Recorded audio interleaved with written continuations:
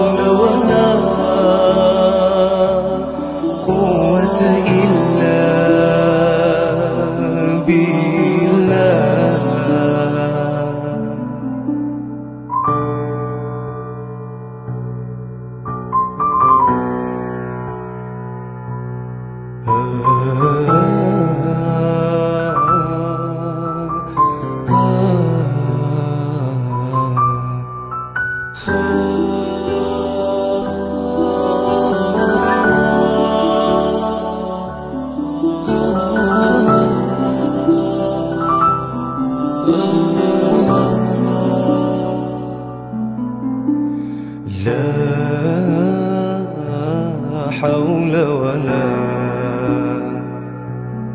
قوة إلا بالله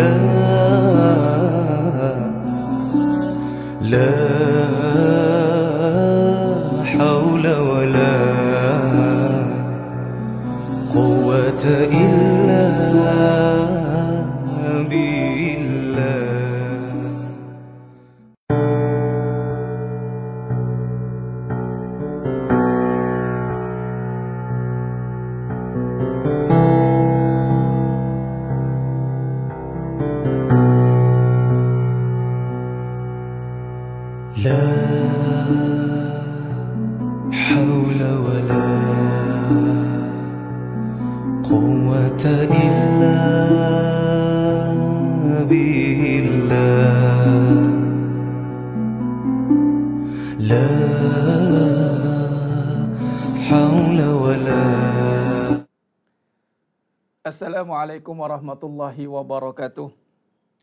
Bismillahirrahmanirrahim. Alhamdulillahirabbil alamin. Wa bihi nasta'in ala umuri dunya waddin. Ashhadu an la ilaha illallah wahdahu la syarika lah. Wa ashhadu anna Muhammadan abduhu wa rasuluh. Allahumma salli ala Muhammad wa ala ali Muhammad. Rabbi yasir wa la tu'assir bi tammin bil khair. Rabbi shrah li sadri wa yassir li amri wahlul 'uqdatam min lisani yafqahu qawli. Allahumma aftah alaina hikmataka wanshur alaina min khazaini rahmatika ya arhamar rahimin. Wallahu allazi la ilaha illa huwa alimul ghaibi wa wa rahmanur rahim.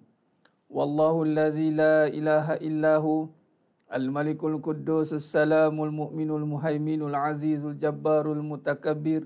Subhanallah ya amma yushrikun.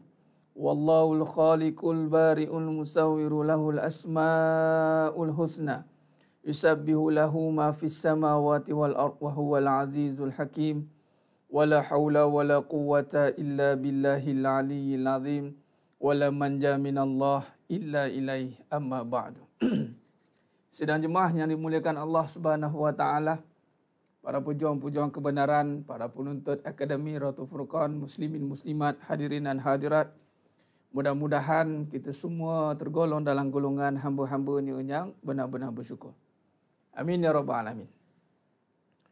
Alhamdulillah ala kulli hal, alhamdulillah ala kulli nikmah.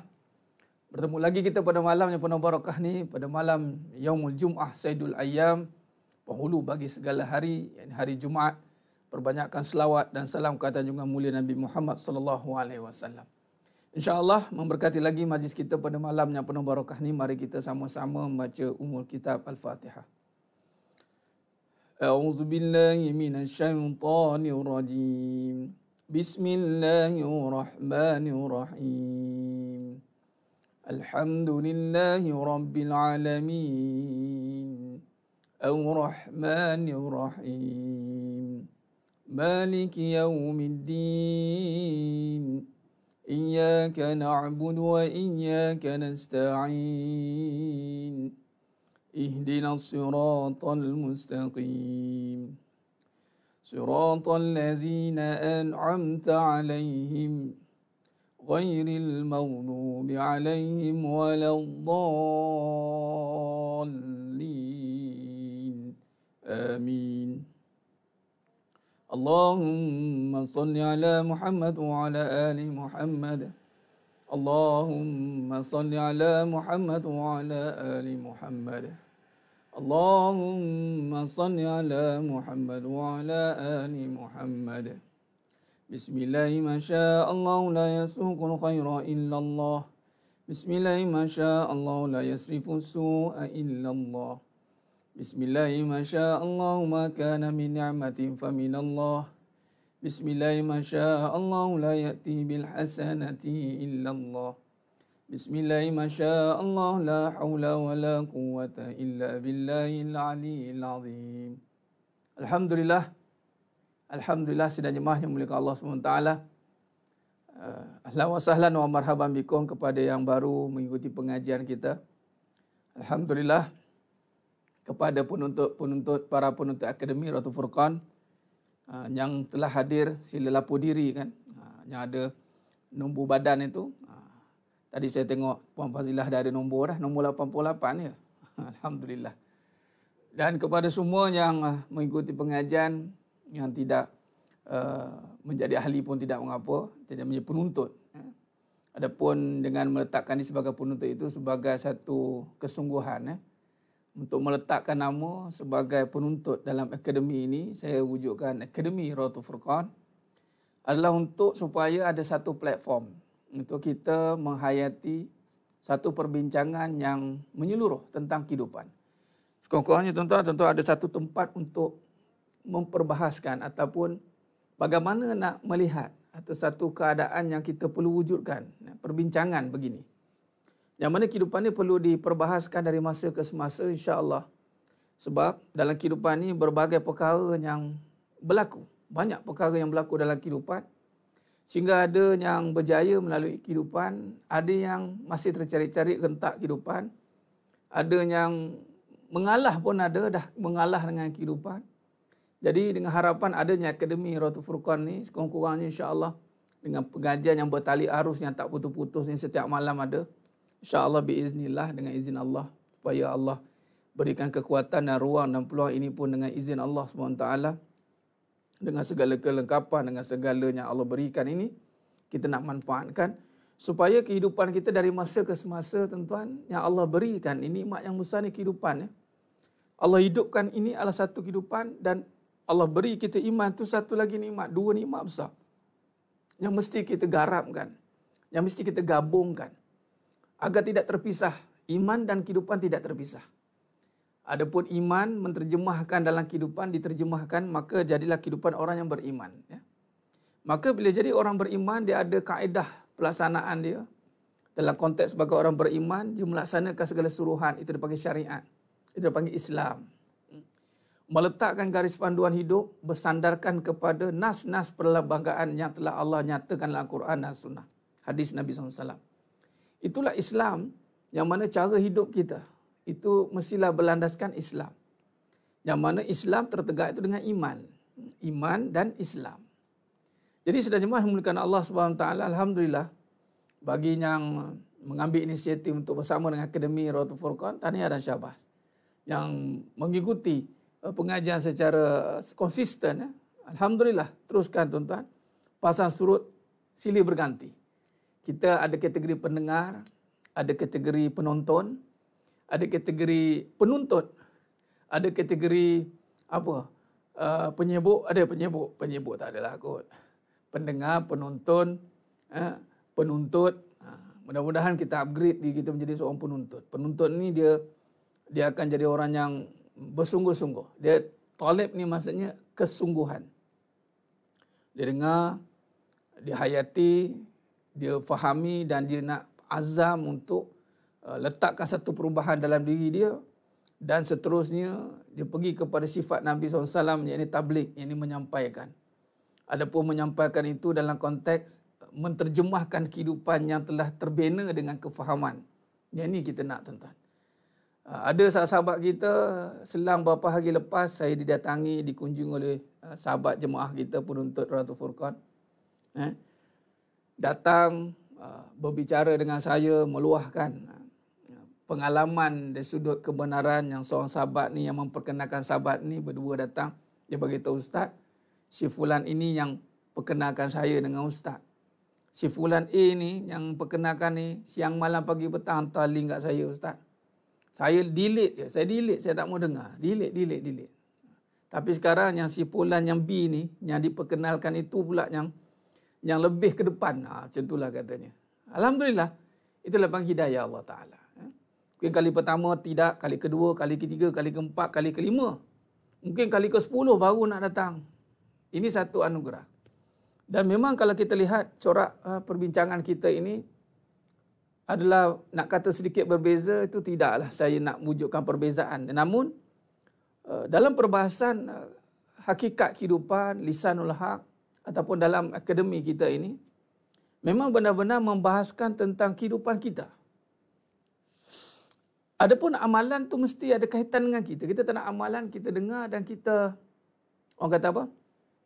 Dengar, kemudian keluar telinga. Masuk telinga kiri, keluar telinga kanan.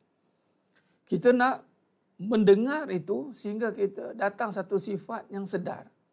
Sebab itu untuk duduk dalam pengajian yang berupa dalam rupa yang menterjemahkan kembali hidup kita ni. Ha, nampak dia reflect, dia panggil reflection. Dia muasabah. Tuan, eh? Ada yang tidak kuat untuk melihat kelemahan diri itu. Ada ada yang tidak kuat tuan-tuan. Ada yang lebih suka untuk mendengar saja tapi tidak mahu mengkoreksi, memuhasabah. Agama ni tuan-tuan tertegak dengan ha, satu keadaan yang mana semakin kita dekat dengan agama, semakin kita melihat pencipta, yakni Allah SWT. Itu agama. Kalau betul jalan agama kita ni, kita makin menuju kepada Allah, semakin hilang keakuan diri kita. Hanya ini, yang ini yang berat kita nak buat sebenarnya. Amalan yang kita lakukan seharian itu dalam konteks diri kita yang melakukan. Sila hari bulan, kalau kita tiada perbahasan yang jelas tentang iman, tentang hati tasawuf, maka amalan yang kita lakukan itu bersandar pada diri kita. Ha, datanglah sifat ananiyah, keakuan.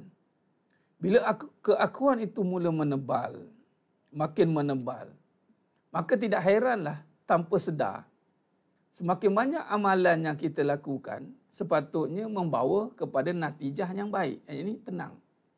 Menjadi satu keadaan yang tenang dan kehidupan kita menjadi senang. Percaya atau tidak, kita sudah beramal banyak, namun perjalanan kita berhadapan dengan liku-liku kehidupan. Sedangkan ada juga yang bertanya pada saya, Ustaz saya tak adalah jahat sangat Ustaz. Ha, saya, iyalah saya tak adalah buat benda yang buruk-buruk tu Ustaz. Tapi saya punya ujian, Ya Rob. Ha, nampak? Perkongsian kehidupan. Tak adalah kita buat benda-benda yang teruk-teruk. Maknanya di sini, yang lebih besar yang perlu kita hayati bukannya seperti yang kita nampak perbuatan salah yang kita. Kita anggap sebagai kesalahan yang nyata. Contoh katalah si fulan ni buka aurat kan? Uh, ataupun buat perkara-perkara yang jelas haramnya pergi uh, perbuatan-perbuatan yang mungkar yang jelas.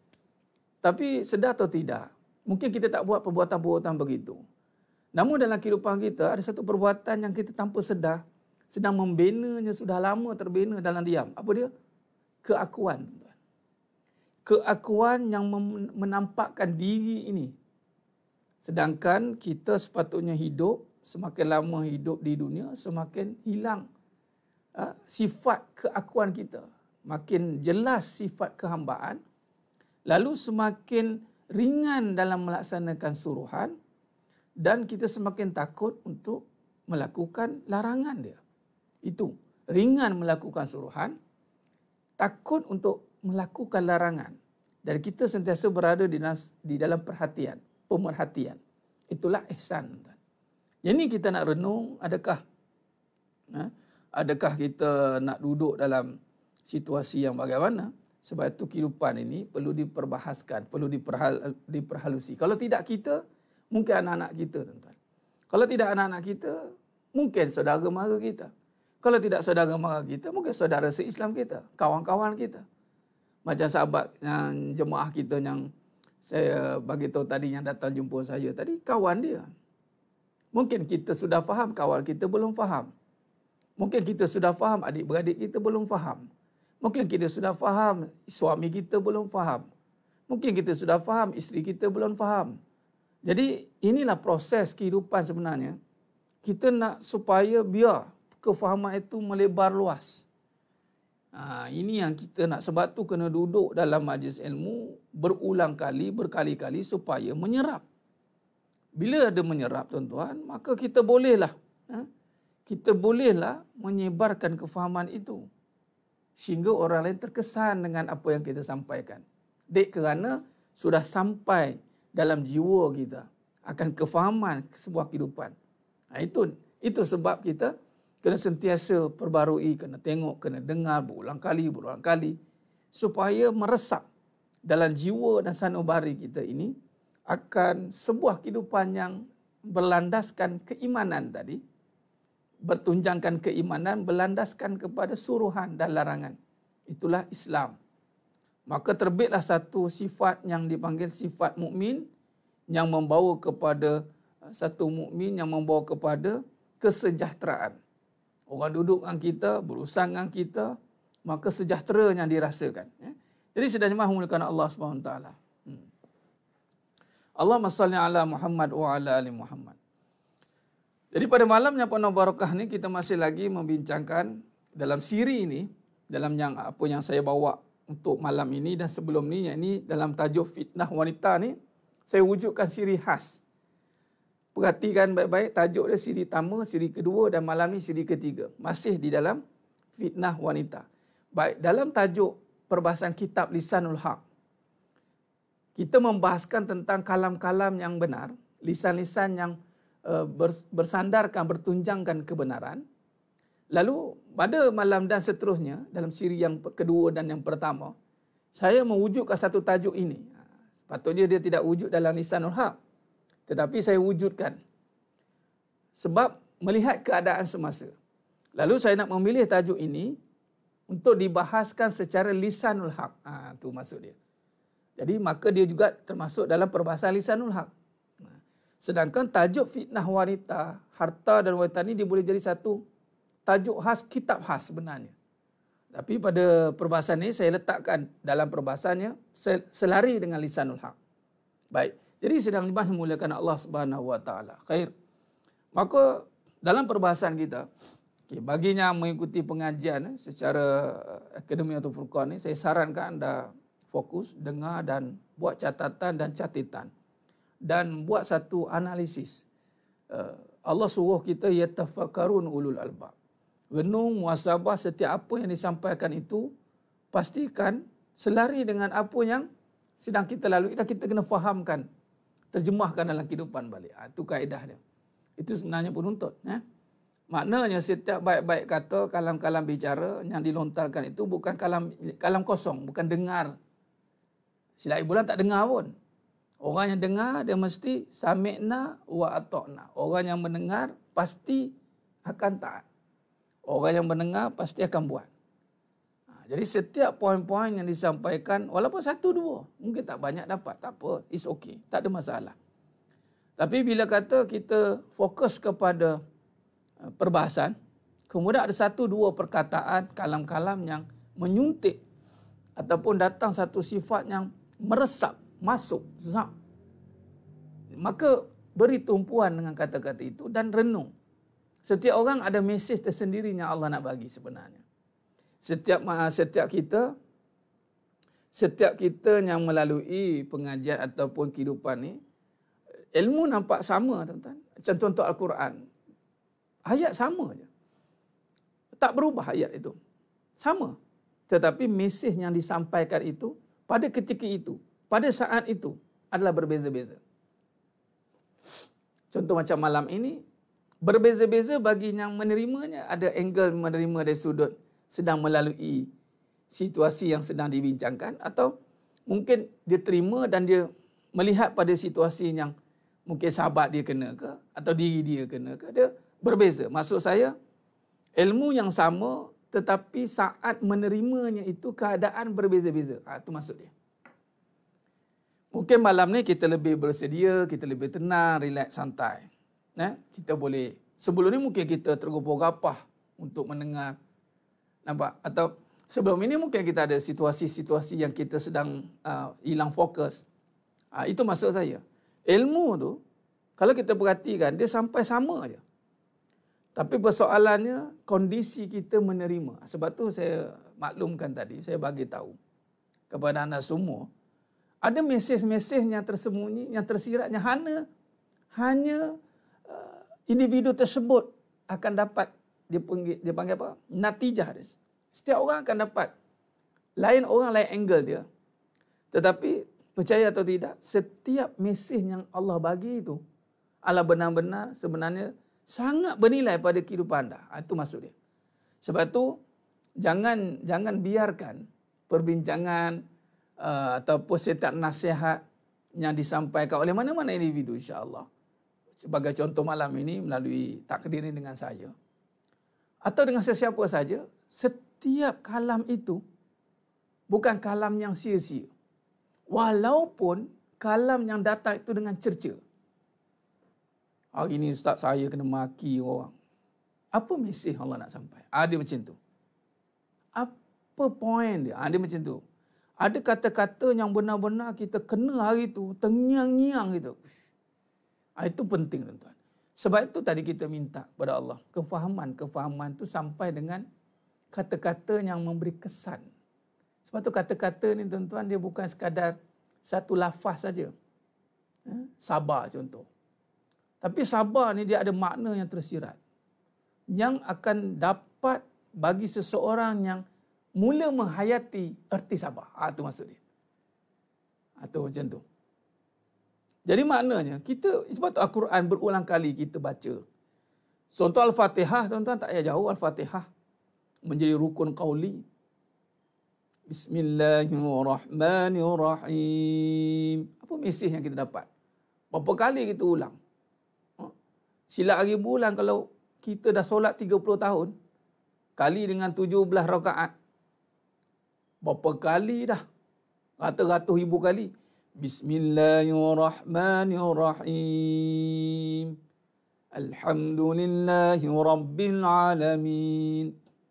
Mesej yang sama tapi keadaan terima tu berbeza-beza. Sebab tu Allah ulang contoh dalam surah Ar-Rahman. Fabi ayyi ala'i rabbikuma tukazziban. 31 kali. Ayat yang sama. Tetapi rupanya yang membezakan kita untuk menerima ayat itu adalah keadaan kita waktu itu. Keadaan kita waktu itu. Dan juga dapatnya ayat itu sesuai dengan keadaan kita waktu itu juga. Ha, itu contoh. Ha, sebab itu sedang jemahnya muliakan Allah Subhanahu Wa Taala. Ya. Itu sebab dalam perbahasan-perbahasan hmm, yang kita lalui, itu mesti ada satu keterbukaan satu sifat yang membukanya selapang-lapangnya. Ya Allah kurniakan makrifatmu, basirahmu, pimpin daku dengan cahayamu. Ya Allah kurniakan makrifatmu, basirahmu, pimpin daku dengan cahayamu. Hidup ni tuan-tuan, perjalananlah perjalanan mengenal, makrifah. Sebab tu dalam ibadah haji, ibadah haji yang menjadi rukun, itu wukuf sehingga kan Nabi SAW sadar Muhammad hadis tiadalah haji sekira tiada wukuf. Ha. Wukuf berhenti. Waqaf. Di mana berhentinya? Arafah. Padang Arafah. Tuan-tuan, rukun iman yang kelima itu menunaikan fardu haji. Dia kemuncak lah. Kalau ikut rukun Islam ni, kemuncak lah. Graduate lah kita. Kenapa kita mesti melalui satu proses yang arafah? Kerana itulah sebenarnya mesej yang besar dalam kehidupan. Satu je. Arafah. Kamu mengenal tak mesej Allah ni? Mengenal tak diri? Mengenal tak Allah? Mengenal tak Rasulullah? Sallallahu Alaihi Wasallam? Mengenal tak saudara-saudara si Islam kamu? Kamu mengenal tak? Itu ayat dia.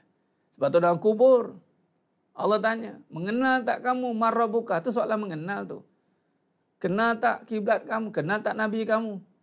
Kenal tak kitab kamu? Kenal tak kiblat kamu? Kenal tak saudara mara kamu? Jadi kita boleh katakan hidup ni mengenal tuan-tuan. Jadi mengenal itu mesti dengan memahami.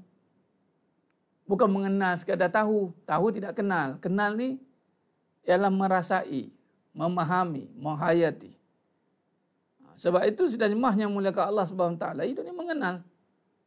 Mengenal kurniakan makrifatmu, basirahmu. Mengenal itu bukan dengan mata kepala. Mengenal itu dengan mata hati. Ha.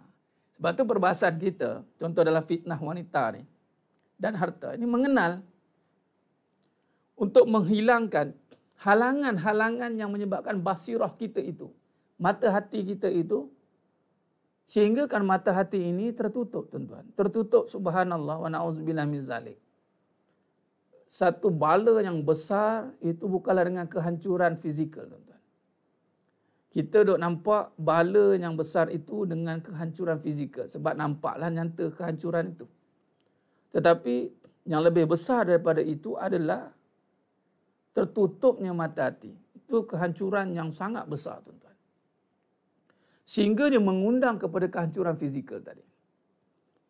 Sebagai contoh, ya, Sebagai contoh, kalau kita lihat kisah Sabak, negeri yang sangat indah tuan-tuan. Dan surah Sabak Allah rakamkan. Yang mana Allah bagi kemewahan, tumbuh-tumbuhan, tanaman. Kan? Yang mana Allah bagi selepas Ratu Balkis. Ini ada kaitan dengan tempat Ratu Balkis. Setelah beriman Ratu Balkis, maka terus Allah bagikan keindahan penegeri Sabak itu di Yaman. Tapi sekarang tuan-tuan, Allah terbalikkan negeri itu menjadi satu tempat yang sangat sangat-sangat tidak membangun habis. Yang asalnya dulu indah, kemudian menjadi satu keadaan yang menakutkan. Sebab apa? Tadi, basirah tertutup. Dulu tidak dia berani menyembar matahari, menyembah matahari Tuhan-Tuhan yang lain. Tapi setelah kemewahan, kesenangan itu datang, sehingga menutup mata hati.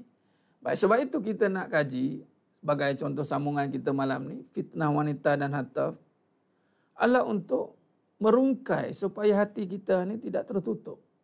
Dek dua perkara yang sangat besar ini sebenarnya menyebabkan bila tertutupnya mata hati itu dek kerana wanita, dek kerana harta, maka Allah tidak akan pimpin kita ke jalan dia. Sebab mengenalnya kita dengan Allah SWT itu mestilah pimpinan daripada Allah. Direct. Allah pimpin. Masuk direct ini adalah Allah akan dorongkan kita dengan guru-guru, dengan mursyid atau dengan ketaatan-ketaatan yang sangat uh, dipanggil jelas ketaatan itu. Jelas nampak. Kita tidak lagi berbelah bagi melakukan ketaatan itu. Lalu perjalanan itu membawa kita terus sampai kepada Allah Subhanahu Wa Taala. Ah, itu kita nak. Itulah kurniakan makrifatmu basirahmu pimpin daku dengan cahayamu. Cahaya ni tidak ada berguna lah bila hati kita tu dah tertutup. Tiada gunalah cahaya itu. Kalaulah cahaya itu datang kepada uh, dipanggil apa cermin yang yang tidak lut cahaya. Cermin yang kabus. Cermin yang frost. Maka cahaya tidak boleh masuk tuan-tuan. Tapi bila cermin itu jernih, bersih maka cahaya tadi tembus maka cahaya itu menyinari menerangi jalan-jalan kehidupan kita sehinggalah kita mencapai tahapan tadi mengenal maka barulah sempurna sempurnalah kehidupan di saat kita beramal dengan kita mengenal. Ha, ini kita nak. Ha, nampak tuan-tuan? Supaya kita nak beramal dengan mengenal. Sekarang ni kita beramal kan perbuatan kita solat, kita zikir, kita buat amalan-amalan yang berbentuk eh, syariat. Kita bimbang, kita beramal, kita tidak mengenal. Sehingga kan beramal-amalan kita ini menjadi rosak sebab kejahilan kita untuk mengenal Allah SWT. Adapun beramal itu sepatutnya menterjemahkan sifat kita yang mengenal.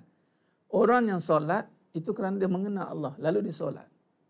Orang yang bersedekah itu kerana dia mengenal Allah lalu dia bersedekah. Orang yang berkasih sayang itu berlemah lembut dengan para istrinya, berlemah lembut dengan orang kelilingnya dan dia mengenal Allah lalu dia melakukan kebaikan itu. Jadi kita nak reflect kerana mengenal tadi. Lalu amalan yang kita lakukan itu disebabkan oleh mengenalnya kita kepada Allah SWT. Ini itu kita nak. Lalu mengenal ini sampai tahapan kita melakukan tanpa ada lagi bebanan-bebanan ketika saat melakukan amalan itu. Allah Akbar. Amalan ini tidak banyak ya. Tapi amalan yang berbentuk satu tetapi terimanya seratus. Penuh. Kita mungkin amalan kita seratus. Terimanya satu. Maksudnya apa? Kita buat-buat amalan tapi tak sepenuh hati kita. Nah, sebab tu Nabi kata, Mafhum hadis, Allah suka amalan yang sedikit tapi istiqomah. Bukan amalan yang banyak. Ha, bukan amalan yang banyak. Tapi amalan yang sedikit. Tapi istiqomah maknanya solid dan berkualiti. Apa yang membuatkan dia solid dan berkualiti? Mengenal tadi. Dia mengenal lalu dia solat. Dia solat dia kerana mengenal. Allah Akbar. Bukan sebab mak suruh. Bukan sebab anak-anak ataupun anak-anak ni mak disuruh atau bukan sebab suami suruh atau sebab isteri suruh. Sebab tak tak. Sebab dia kenal Allah. Lalu dia solat. Allah Akbar. Ini ini ini hebat. Dia kenal Allah, lalu dia taat suami dia. Subhanallah. Ini jadi isteri salihah ni. Ah, dia kenal Allah, lalu dia berbuat baik dengan isteri dia. Subhanallah. Ini ini satu amalan yang cukup hebat. Dia kenal Allah, lalu dia mentaati mak ayah dia. Subhanallah. Ini satu perkara yang menjadi tunjang kepada amalan-amalan itu bercambah, berkembang sehingga masuk dalam jiwa sanubari dia itu. Asyik dia dengan ketaatan tadi. Dia dah tak, dah, dah tak jadi uh, hal keadaan itu tidak mengganggu dia. Keadaan isteri dia macam manakah, dia tetap berbuat baik. Hal keadaan suami dia bagaimanakah, dia tetap berbuat baik. Hal bagaimana keadaan mak ayah dia ke, dia tetap berbuat baik. Kerana mengenal dia akan Allah. Lalu dia melakukan kebaikan kerana Allah. Masya Allah. Ini yang kita nak. Ini yang kita nak. Jadi, barulah kita tidak lagi membawa satu sifat yang membebankan. Saya dah beramal Ustaz, tapi saya masih lagi terbeban. Ha, itu dia. Saya dah beramal Ustaz, saya jadi isteri, tapi saya tak dihargai. Ha, itu dia. Saya solat Ustaz, tapi tak rasa Allah tolong. Allah Akbar. Saya dah buat macam-macam, kadang-kadang nak cakap tak berani. Tapi dia datang dalam hati lah, was-was. Ya ke tidak ni? Ya ke tidak ni? Sebab apa? Sebab amalan dia tadi itu tidak seiring. Tidak seiring dengan kehendak yang utama di dalam amalan itu. Iaitu adalah dengan mengenal. Mengenal tuan-tuan. Sebab itu Allah berfirman dalam surah Az-Zariyat 56. Wa ma khalaqtul jinna wal insa illa liya'budun. Tidaklah Allah jadikan jin dan manusia ini melainkan melainkan semata-mata untuk sembah Allah. Ulama mufassirin ha, menyatakan mentarifkan dalam maksud illa liya'budun itu adalah illa liya'rafun. Mengenal Allah tuan-tuan. Jadi sekarang ni bila kita faham tentang mengenal barulah kita akan melakukan dengan cinta. Hanya ini yang kita nak. Datang mahabbah cinta. Lalu setelah kita mendapat cinta barulah kita boleh bercinta. Mencintai, menyayangi. Maka dustalah seseorang itu mengatakan dia bercinta dengan suami dia. Dia bercinta dengan isteri dia. Lagi mana dia tidak bercinta dengan Allah. Ha, berdusta tuan-tuan. Sebab itu dusta itu dibayar cash. Cinta yang dusta. Balasannya adalah kecewa. Cinta yang dusta. Balasannya adalah sengsara. Cinta yang dusta. Balasannya adalah terpinga-pinga. Hatinya kosong. Tiada arah ke mana. Sedangkan dia sudah ada suami depan mata. Tapi rasa macam serba tak kena. Apa lagi yang tak ada ni. Ada. Yang tak ada satu. Apa dia? Cinta Allah. Sedangkan kamu mewar-warkan cinta Allah. Tetapi kamu tidak memiliki cinta itu. Maka itu dinamakan berdusta. Berdusta. Jadi sedang mahnya dengan Allah Subhanahu Wa Taala. Sebab itu bila kata kita membawa cinta Allah, lalu mana mungkin bertemunya kebencian sesama kita? Takkan. Tidak akan bertemu kebencian. Mana mungkin orang yang membawa cinta memiliki cinta Allah penuh dalam kehidupannya kebencian tak ada. Dia telah dipenuhi dengan cinta yang penuh. Lalu apa yang berlaku dalam hidup dia adalah penuh dengan kebahagiaan. Yang mana Allah salli ala Muhammad wa ala ali Muhammad. Yang mana kecintaan itu memadamkan segala kesakitan. Tak ada sakit. Sebab apa? Sebab cinta itulah ubat yang paling tinggi tuan-tuan. ubat ataupun vaksin yang paling mustajab dan mujarab. Cinta yang datang setelah mengenal pencipta. Lalu memilikilah dia cinta itu dengan Allah melalui tarik Rasulullah SAW, melalui jalan Nabi SAW, lalu mengalirlah cinta itu tanpa ada sedikit pun lagi ketakutan kerana sudah ada dapat jaminan daripada pemilik cinta Allah Azza wa Jalla. Mana mungkin orang bercinta penuh dengan derita. Ha, cuma kita digambarkan, dibayangkan cinta makhluk. Mula-mula bercinta, ha, berkasih sayang sana ke sini, kita nampak oh seronoknya pasangan itu. Tapi percaya atau tidak, itulah dia yang sepatutnya dilalui oleh orang bercinta. Tetapi itu pendusta. Kerana apa? Kerana cinta itu bertukar menjadi nafsu benda. Ha, sebab tu akhirnya, eh dia kan bukan dulu sayang, tiba-tiba macam mana boleh bergaduh? Ya? Ha, itu question lah. Sebab pendusta. Pendusta dibayar cash. Tipu saja Allah bayar cash sebenarnya. Kita tipu, kita jadi, kita kaya, kita nak dapat title orang kaya, kita tipu dia kita. Kita akan terbeban dengan harta tu. Kita tipu, kita tidak kita tidak ada miliki, tidak ada lagi cinta itu. Lalu kita mewawarkan cinta, cinta tanpa batasan, cinta Allah, cinta yang hebat. Kita tidak lagi memiliki cinta itu. Lalu dibayar cash dengan apa? Terbeban dengan apa yang dicintainya itu. Terbeban. Masih ada lagi ketidakpuasan. Masih lagi perlukan makhluk untuk meraihkan hidup dia. Ha, ini yang bahaya tuan-tuan. Eh? Allahumma salli ala Muhammad wa ala Muhammad. Orang yang bercinta dengan Allah taala itu dia tidak lagi mengharapkan balasan daripada makhluk. Ah, tidak lagi dia mengharapkan mu'aima ucapan terima kasih pun. Sebab bukan makhluk yang membayar cinta dia. Bukan makhluk yang membalas cintanya. Tetapi yang membalas cintanya itu adalah Sang Pencipta. Al-Khaliq Rabbul Jalil. Allah jualah yang membalas cintanya. Dengan apa? dengan sifat yang datang dari sanubari dia itu. Satu sifat mengalirnya ketenangan. Lalu dia senang dengan makhluk-makhluk di kelilingnya itu. Dia senang dengan isteri-isteri dia. Dia senang dengan setiap syariat yang diberikan pada dia untuk dilaksanakan. Nah, ini sebenarnya. Sebab itu uh, ukuran dia kepada sifat seseorang itu yang benar-benar membawa perjalanan cinta Allah itu dia tidak akan lari daripada makhluk balik. Dia tak ada nak sifat nak lari menyendiri. Tak nak penting diri. Tahu aku malas lah pening-pening kepala ni aku tak nak. Sebab tu cuba tengok baginda Nabi SAW. Memiliki cinta Allah secara penuh tuan-tuan. Sehingga Nabi SAW uh, menangis, risau akan keadaan umat. Bayangkan. Lepas tu Nabi dah boleh lari lah. Cukup. Habis, selesai, balik. Tapi Nabi still di padang mahsyar.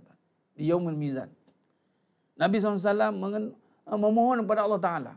Untuk berikan lagi peluang untuk syafaat. Ha, itu dia buat. Ini, ini, ini satu insan yang sangat agung ni tuan-tuan. Eh? Yang begitu hebat ni tuan-tuan. Yang sering kali tidak lari daripada kita. Kita yang banyak lari pada Nabi SAW. Kita yang banyak lari pada baginda Nabi SAW. Kita lari daripada suruhan Nabi SAW. Nabi suruh berdamai, kita bergaduh. Nabi suruh berlapan dada, kita sempit. Nabi suruh kata kita ini bersaudara. Tak ada, tak ada. Yang bersaudara yang okey dengan aku je. Yang lain-lain yang ni bukan saudara aku kata. Yang bersaudara yang boleh yang boleh berusaha dengan aku, yang support aku. Kalau aku meniaga, beli produk aku, itu ah, saudara aku. Orang meniaga tak beli, itu bukan saudara. Sedang Nabi kata, saudara, selagi mana kamu mengucap dua kalimah syahadah. Dia mengucap dua kalimah syahadah. Kamu mengucap dua kalimah syahadah. Bersaudara. Tapi tidak. Dan nak pula orang ketiga. Yang orang ketiga tu mengucap dua kalimah syahadah juga. Nak masuk jadi keluarga. Pancung malaikat 44 katanya. Jangan cuba-cuba dekat dengan aku. Nampak? Nabi tak pernah lagi daripada kita. Kita yang banyak lari daripada Nabi SAW. Nabi cinta. Ini, ini, ini antara tanda. Tanda satu satu tanda yang tak lari. Tak lari, tak lari. Dia akan berhadapan dengan masyarakat. Dia akan berhadapan dengan segala tugas dan tanggungjawab. Tak lari tuan-tuan. Orang beriman tak lari bertanggungjawab. Sebab tu siapa yang lari pada tanggungjawab, melepaskan tanggungjawab, dia bukan kita orang beriman. Sebab tu tak terangkat amalan dia. Ha, ya? Allahumma salli ala Muhammad wa ala ali Muhammad. Dia akan berhadapan. Sebab tu uh, Asia tak lari pada uh, Firaun. Tak lari. Kita bawa suami masalah sikit, dah nak file lah. Bawa masalah sikit dia. Asia, ni tanda orang beriman tuan-tuan. Fir'aun tuan-tuan, Fir'aun. Tak lari. Pantang undur. Orang beriman pantang undur sebenarnya. Dia akan maju ke depan. Sehinggalah dia ditolak. Allahumma salli ala Muhammad wa ala Ini yang kita nak nak bina. Sebab tu apa yang saya ceritakan dalam uh, perbincangan awalan ini. Uh, bukan awalan lah, tengah dah pun. Adalah kesan daripada nanti. Orang yang bebas pada fitnah. Fitnah wanita dan harta ni. Dia akan mampu meraih cinta. Dia akan mampu meraih cinta Allah. Sebabnya menghalang kita untuk mendapat cinta Allah ni dua benda yang besar ni tuan-tuan harta dan wanita. Sebab tu, kalau tengok wanita tuan-tuan, wujud pada wanita, semua muji-muji dia. Semua puji wanita, betul tak? Sama ada nyata atau zahir, zahir ataupun batin saja. Ada yang nyatakan dengan zahir. Lagu je puja wanita. Betul tak? Kita akan puja habis-habisan isteri kita. Wanita tu siapa? Kekasih kita lah, isteri kita. Ha, sebab tu kalau ada dua orang yang dia sayang dia pening kan? Alamak, saya biasa sayang seorang dia ustaz kata. Ha, seorang je lah. Saya tak nampak orang lain lah. Ha, okay. Halangan ini, dia tidak mengenal pencipta cinta. Dia mengenal manusia lalu bercinta. Lalu dia kaitkanlah juga dengan Allah. Tapi tidak sepenuh jiwa. Kerana masih ada ketakutan di dalam dadanya. Masih ada konflik yang bila-bila boleh timbul. Nah, itu dia. Ya. Allahumma salli ala Muhammad wa ala ali Muhammad. Jadi kalau kita lihat ya, apakah yang menghalang kita itu, itulah dia dunia dan manusia wanita. Bagi seorang lelaki sebab apa? Sebab Nabi SAW sabda, Maaf dia kita bawa ulang gaji sikit. Ya? Tidak ada satu perkara yang ditinggalkan selepas Nabi SAW wafat, kata Nabi SAW. Ya? itu adalah apabila Nabi Nabi kata mafhum hadis boleh tukar. Yang mana daripada Usama bin Zaid radhiyallahu an. Ma taraktu ba'di fisnatan adarra 'ala rijal minan nisa. Baik, mari kita ulang kaji sebelum kita buat kesimpulan untuk tajuk ini. Malam ni siri tiga ni kesimpulan. Eh. Kalau kita lihat di sini Nabi SAW sabda mafhum hadis. Okay. Daripada Usama bin Zaid radhiyallahu an. Nabi SAW bersabda ma taraktu ba'di fitnata ad-darra 'ala rijal minan nisa. Maksudnya tidaklah aku tinggalkan selepas daripadaku yang lebih berbahaya ke atas kaum lelaki daripada wanita. Wanita ni bukan saja wanita yang bukan mahram dia. Tapi wanita yang disebutkan di sini adalah wanita yang dicintainya. Wahai para lelaki, adakah anda mencintai isteri-isteri anda itu dengan cinta Allah ataupun dengan cinta diri sendiri? Ataupun mencintai isteri yang ada kerana kebaikan dia ataupun kerana Allah yang beri cinta lalu mencintai isteri anda. Ha, itu kena, kena cek lah. Dan bila nak cek? Allah bagi ujian. Itu Allah yang akan tentukan nanti. Tengok. Ada ketika kita bercinta dengan makhluk ini kerana kita terpengaruh dengan kebaikan yang ada depan mata sehingga lupa dari mana datangnya kebaikan itu sehingga lupa dari mana datangnya sifat kasih sayang itu yang mutlak datang daripada Allah lalu diterjemahkan kepada makhluk yang dipanggil tajalli sepatutnya kita mengenal Allah maha pencipta yang maha memiliki cinta lalu mencintai isteri kita kerana kita kenal Allah itu cinta Allah tu yang ada pada isteri aku ni cinta Allah lalu aku mencintai isteri aku kerana apa kerana cinta Allah. Benda, perkara ini sipi tuan-tuan. Eh? Sangat sipi. Sebab dia berada di atas satu line, thin line. Line yang sangat halus. Yang boleh menguji cinta itu hanya pemiliknya saja, iaitu Allah. Walaupun ha, para ulama membahaskan perkara ini. Tetapi kita hanya boleh membahaskan saja. Yang melaluinya akan merasa orang yang yang membawa cinta Allah tadi pasti tidak akan ada masalah dengan isteri dia. Pasti. Tak ada sifat biasalah tu ustaz suami isteri sedangkan lidah lagi tergigit. Biasalah tu. Nabi SAW dengan Sayyidina Khadijah rada Allah tak ada masalah. Ustaz, yang sisi lain Ustaz. Sisi lain nanti dulu. Yang Sayyidina Khadijah rada Allah Kita cerita yang permulaan. Bagi Nabi SAW dengan Sayyidina Khadijah rada Allah subhanallah, perfect couple. Diuji kesusahan, diuji dengan penindasan, diuji macam-macam ujian tuan-tuan. Tapi tiada lagi riwayat Sayyidina Khadijah radhiyallahu mengaju. Tak ada. Tak ada lagi Sayyidina uh, Sayyidina Khadijah radhiyallahu angkat tinggi suara dengan Nabi SAW. Tak ada. Tak ada lagi riwayat Sayyidina Khadijah radhiyallahu al-kubra. Uh, sedikit sedikit luahan perasaan. Kau orang selalu cakap lah standard lah ustaz orang perempuan. Sedikit keluhan di atas kesusahan. Tak ada, tak ada lagi tak jumpa. Yang ada hanyalah Sayyidina Khadijah radhiyallahu al-kubra. Siap bagi tahu kat Nabi ketika nak wafat, kalau tiada siapa yang mengikut kau katanya. Ingatlah aku sentiasa berada di sisimu. Masya Allah. Ini kena sisi yang yang tak berapa nak faham, dah tengok tak ada orang nak ikut suami dia, dia tinggalkan tu katanya. Ini tak boleh pakai suami macam ni ni. Tinggalkan katanya. Dari jadi lawan lagi dah bukan jadi satu pasangan yang sangat menyokong. Dia cucuk lagi dalam lagi dia. Ha, ini tidak. Eh. Tak akan berlaku. Sebab tu wanita ni, kenapa berbahaya? Kita dah bahaskan bahaya itu. Uh, sebab takut-takut, ketakutan kita yang utama kepada Allah berpindah kepada takut kepada wanita. Dan ini ini sangat jelas kerana kalau kita lihat mutakhir, ketakutan ini selalu disebut. Takut isteri, takut isteri, takut isteri. Lalu di, di di cover ha. dia panggil cover line bukan takut isteri tapi hormat tapi hakikatnya takut. Itu saja. Sebab kalau rujuk pada hadis ni takut. Sebab Nabi kata apa? Dalam hadis uh, hadis yang lainnya hadis yang panjang Allahumma salli ala Muhammad wa ala Muhammad.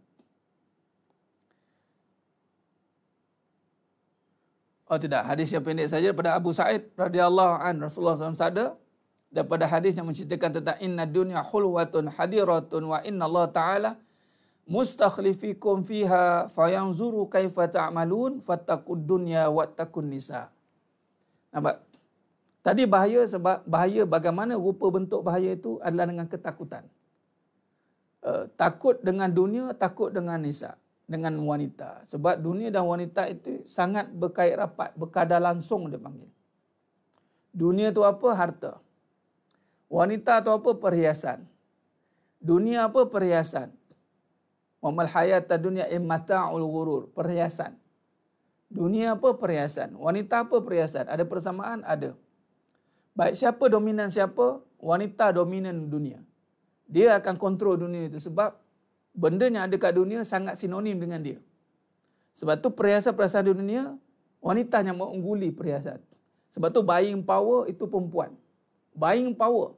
Sebut saja buying power membeli perempuan. Orang lelaki beli ikut yang dia nak belilah. Macam mana hebat lelaki membeli, sila bulan perangai lelaki tu macam perempuan juga membeli. ah, dia kumpul kasut banyak-banyak. Orang lelaki biasa tak ada kumpul, tiba dia nak kumpul kasut banyak-banyak kumpul baju banyak-banyak, kumpul-kumpul. Itu ha, masalah besar tu. Eh? Baik. Jadi sedang jemaah yang mulakan Allah Subhanahu Wa Taala. Khair. Baik, kalau kita lihat di sini dalam perbahasan ini juga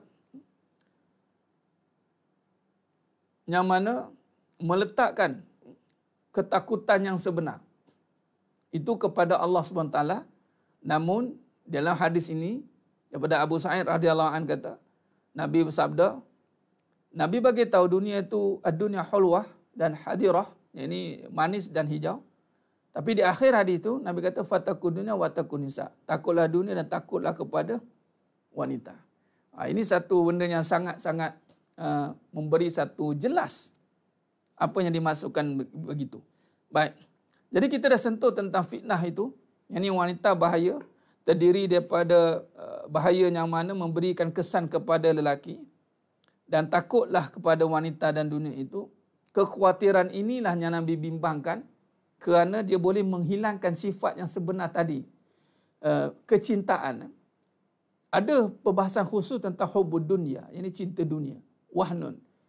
Jadi cinta dunia ini juga boleh pakai kepada cinta wanita. Apa cirinya diringkaskan cinta dunia, cinta wanita ni adalah apabila mengutamakan kehendak manusia daripada kehendak Allah SWT. Ha, itu dia. Itu cinta lah. Cinta dunia ni diringkaskan adalah mengutamakan kehendak dunia. Dan membelakangkan kehendak Allah Ta'ala. Contoh, bila harta mengutamakan kumpul daripada sedekah. Itu cinta dunia. Kalau wanita mengutamakan ha, kehendak wanita daripada kehendak Allah atau wanita. Apa dia kehendak Allah dan wanita? Taat. Allah suruh wanita taat kepada suami dia. Tapi kehendak wanita untuk taat berkira-kira. Ha, jadi kehendak wanita ni dituruti terlebih dahulu baru dia nak taat. Sedangkan taat datang kemudian datang awalan. Datang awal, taat itu datang awal. Ha? Tapi keadaan sekarang wanita nak taat dia kena syarat dulu, dia nak tengok. Kenapa aku nak taat? Ha, dia. Maka ini yang kita bimbangkan. Eh? Baik. Jadi sedang menggunakan Allah SWT. Maka di sini kalau kita tengok lagi, dalam bentuk wanita ini kita kaitkan juga dengan harta, ah, dengan harta dan wanita ni dunia dan harta ni kalau nabi kata apa cara kita nak lalui nak keluar daripada fitnah ini maka nabi berkata istausu istausu bin nisa khaira hmm, nasihatilah para wanita kerana wanita diciptakan kepada khairan fa inal mar'a khuliqa khuliq khulqatu khuliqat min dila yakni khuliqat min dila. Ya ini daripada tulang rusuk yang bengkok. Okey baik. Di sini ada satu kata kunci yang mana kalau kita lihat daripada tulang. Maknanya cara kita nak hadapi keadaan dunia dan wanita ini ini khususan uh, kepada rijal tetapi juga pada wanita anda juga kena memahami kaedah ini. Apa dia? Nabi kata istausu nasihatilah. Baik. Yang ini kita nak buat kesimpulan pada malam ini. Yang ini apa dia? Cara kita nak berhadapan dengan dunia dan harta ini, dia kena letakkan yang atas sekali itu adalah nasihat. Ha, ini dia. Atas kepada sekali itu adalah nasihat. Allah. Ha, pindah sini. Eh?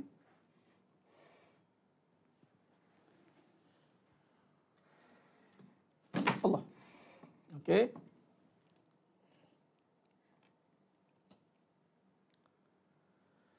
Ya, perkahwinan pada sisi wanita itu taat. Itu perkahwinan di sisi wanita. Baik, sekarang ni baik kita buat uh, satu uh, kesimpulan awal. Baik, bila sebut wanita, ini kita akan kaitkan dengan perkahwinan. Ha, sebab tu perkahwinan, perkahwinan ni tidak boleh lari. Dan perkahwinan ni dia masuk dalam tajuk wa min ayatihi tanda-tanda kekuasaan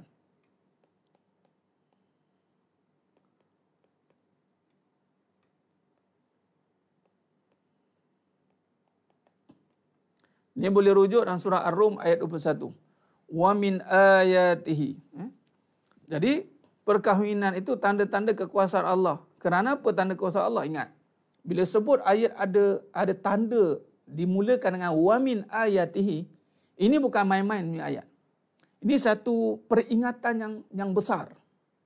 Ada tanda-tanda kekuasaan Allah. Termasuklah dalam kisah Sabak.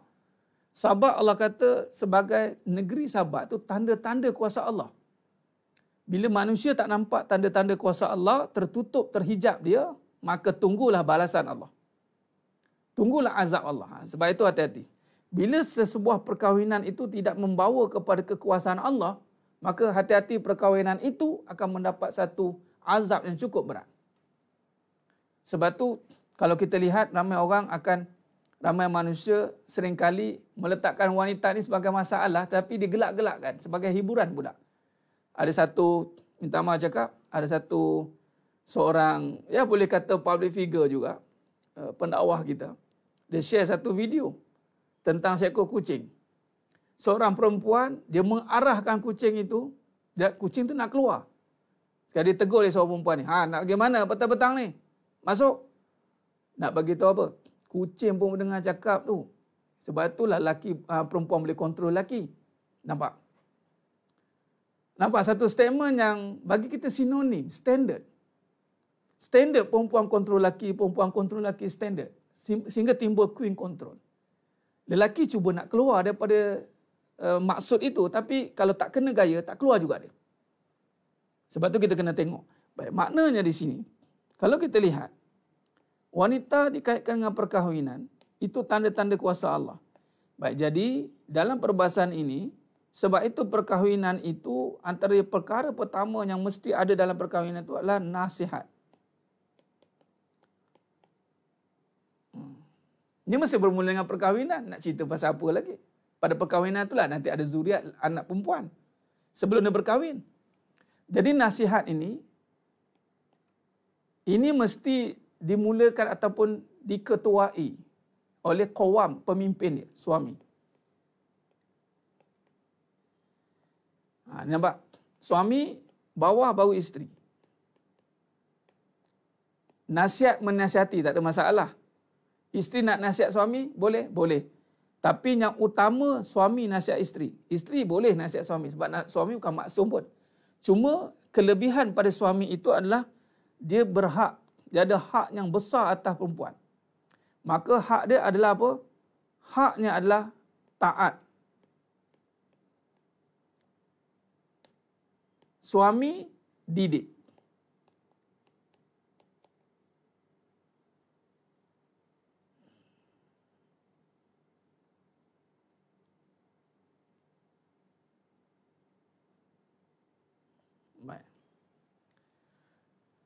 Sebab itu kalau kita lihat didik dan taat itu pakaian didik, pakaian bagi suami, taat pakaian bagi isteri. Isteri nak nasihat suami, boleh, tak ada masalah. Tapi jangan menjangkaui ketaatan. Tak boleh. Tak boleh overrule. Protokol. Apa taat?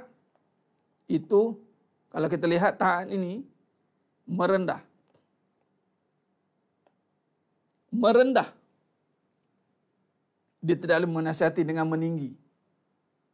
Itu ini ini ini ini protokol yang Allah bagi dan Nabi SAW bagi. Merendah, menyerah. Dengan apa? Suruhan. Ha, baik. Pada taat ini, termaktub suruhan. Isteri boleh nasihat suami, tapi tak boleh suruh. Abang mesti kena jadi. Itu satu suruhan. Tapi kalau suami suruh boleh. Kamu mesti jadi sekian, sekian, sekian, sekian. Suruhannya pula, yang dimaksudkan tak wajib taat, tak wajib taat tu adalah tak wajib taat suruhan. Bukan tak wajib. Yang kata tak taat suruhan terus buat jahat. Tak boleh. Merendah menyerah ni mesti kena ada pada sifat seorang wanita. Seorang suami pasti kena pastikan, kena memastikan sifat merendah dan menyerah ini ada pada seorang isteri. Itu tawaduk. Ha, nak memastikan itulah dipanggil didik. Ya? Baik. Bila suruhan suami yang bercanggah dengan syarak, maka tak wajib isteri ikut. Apa ha, tak wajib isteri ikut? Tapi masih tertakluk dengan merendah dan menyerah. Adapun isteri dia tak boleh suruh suami. Bersalahan dengan protokol. Seorang anak, nak kalau nak faham mudah. Seorang mak, seorang anak tak boleh suruh mak. Mak, tolong angkat baju je mak. Ini anak jenis apa? Agak-agak lah. Mak, uh, mak tolong berubah boleh? Dia boleh suruh mak ni.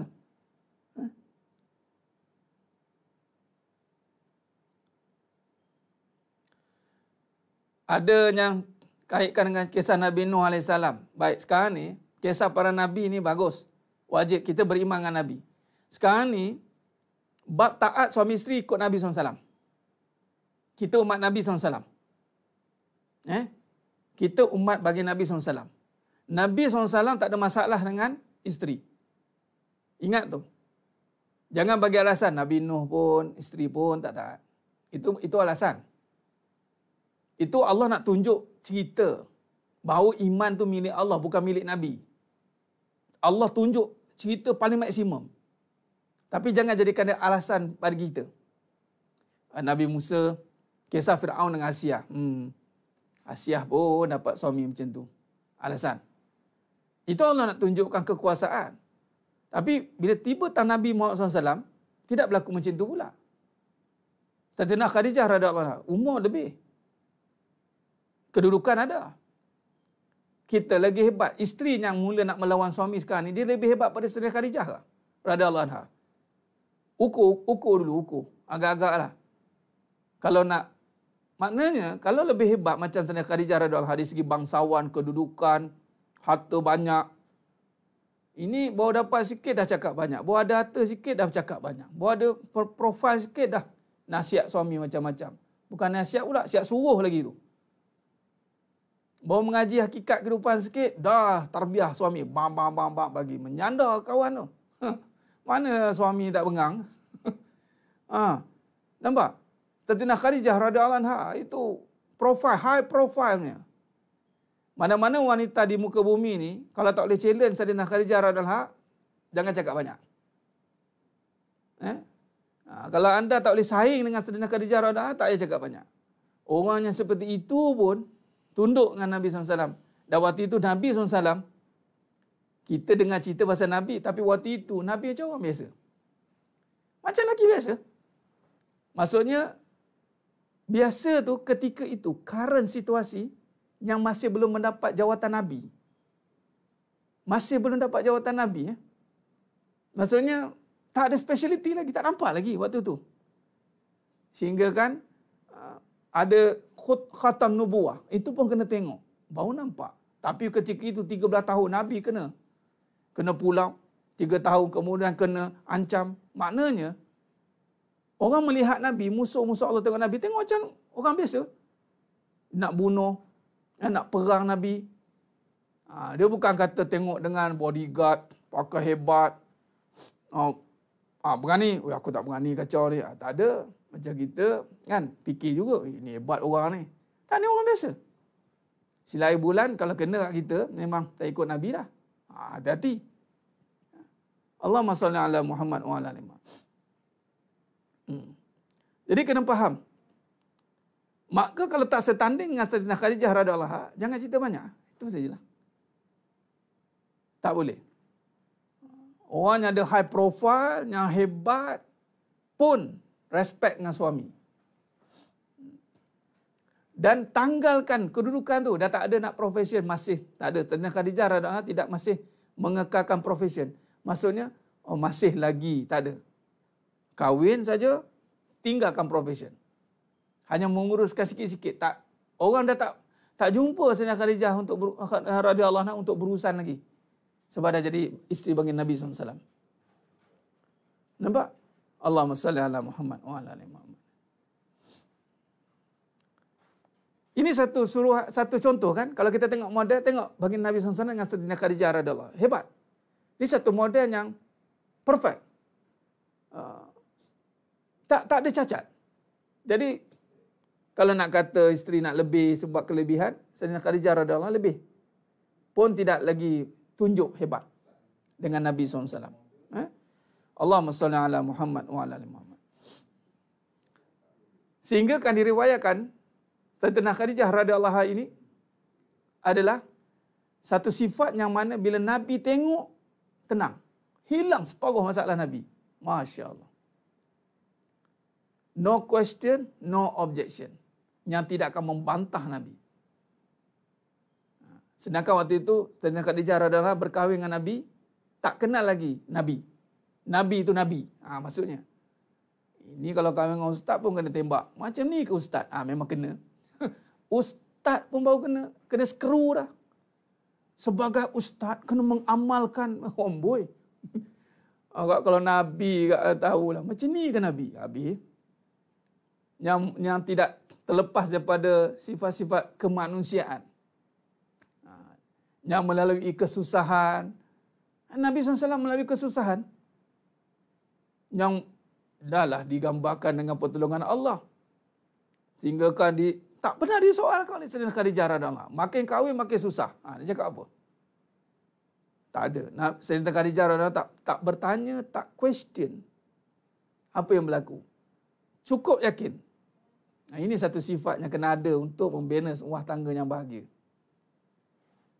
Allahumma salli ala Muhammad wa ala ali Muhammad. Ini ini satu dia. Hmm.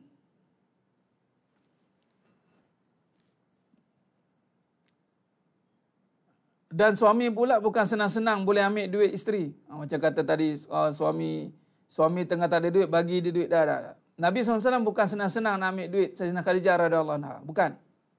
Arab ni saya nak bagi tahu. Bangsa Arab ni bangsa yang sangat menjaga sifat kelelakian. Sebab tu sama sampai sekarang kalau ikutkan lesen perempuan pun tak ada. Kereta, lesen kereta tak boleh. Jangan main.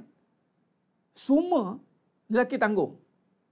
Ini Arabnya, bangsa Arab. Nak terima duit pada isteri. Oh, satu-satu benda yang dia panggil mencemar duli. Ha, jangan mudah-mudah bagi je duit kat suami. Bukan semudah-mudah. Suami pun terima kasih yang ambil. Kalau ada bagi lagi. Kalau ada bagi lagi. Tak ada. Tak semudah-mudah itu. Ni saya ada baca siap 50-50 share lagi. Apa dia? Awak bayar, saya bayar. Awak bayar, saya. Jangan. Bagi tempo, saya bagi tempo. Abang bagi tempo. Benda ni akan berakhir bila-bila masa. Abang akan take over balik semua. Cakap macam tu. Bukannya, dia nak buat macam mana? Nak buat macam mana? Kan? Dan Nabi SAW bukan begitu. Jangan ingat Nabi SAW menumpang harta Sayyidina Khadijah radhiyallahu Bukan. Nabi bukan macam tu. Nabi adalah um, seorang yang daripada dajah 6, umur 12 tahun tuan-tuan. Dajah 6, 12 tahun. Berdikari. Ha? Berniaga, berniaga, berniaga. Ha. Jadi sedang nyembah menggunakan Allah Ta'ala. Hmm. Jangan, jangan. Jangan semudah-mudah begitu. Ha? Bagi semua bagi. Tak ada masalah. Kalau isteri nak bagi, bagi. Tak ada masalah. Ha? Tapi kalau isteri nak beli suami dengan harta pun tak boleh. Nabi SAW tidak terbeli. Suami yang hebat tidak terbeli dek harta isteri. Kamu nak bagi duit ke, tak bagi ke, kamu tetap abang nak cakap, abang cakap. Ha, macam tu. Kamu ingat jangan kamu boleh bagi duit, kamu boleh bagi belayan yang bagus, kamu boleh bagi, abang akan diam. Tidak. Mendidik ini tidak termakan dek harta, tak termakan dek pujian, tak termakan dek keadaan. Didik tetap didik. Kalau nak bagi, bagi. Sila, tak ada masalah. Nak bagi duit, banyak terlajak. Ah, bagi, mari sini. Abang nak pakai, tak ada masalah. Kamu tak nak bagi pun, abang tak terkesan. Patutnya, begitu. Ha? Allahumma salli ala Muhammad wa ala Muhammad. Hmm.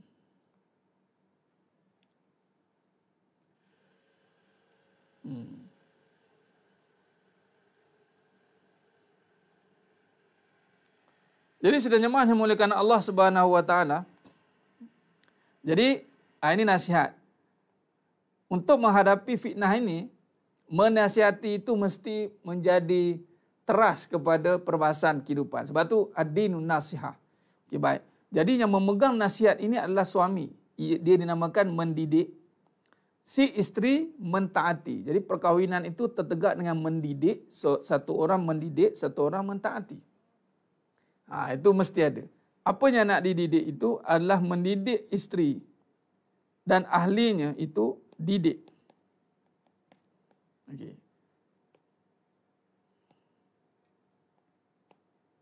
Saya pecah pada dua bahagian saja. Saya ringkaskan bahasan yang panjang. Didik ni pertama apabila membawa kepada Allah. Yang ini akidah.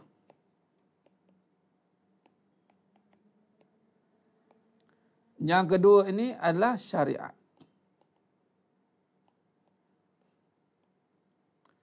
Ini mesti ada pada seorang lelaki, suami. Bagaimana cara mendidik itu terpulang. Baik, baik cara mendidik ni meletakkan cara hikmah.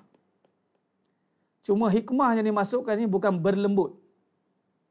Hikmah ni bijaksana, bukan lembut. Ini asal hikmah ni lembut. Hikmah ni bijaksana. Apa maksud bijaksana? Bijaksana ni adalah kembali kepada sifat meletakkan sesuatu itu pada tempatnya, yang adil. Kalau perbahasan itu tegas, letakkan pada tegas. Apa perbahasan yang tegas? Itu perbahasan tentang kena letakkan di sini akidah. Akidah tu tegas. Bah, akidah ni membawa kepada perbahasan menghancurkan atau bahasa mudah di sini saya tulis menundukkan perasaan.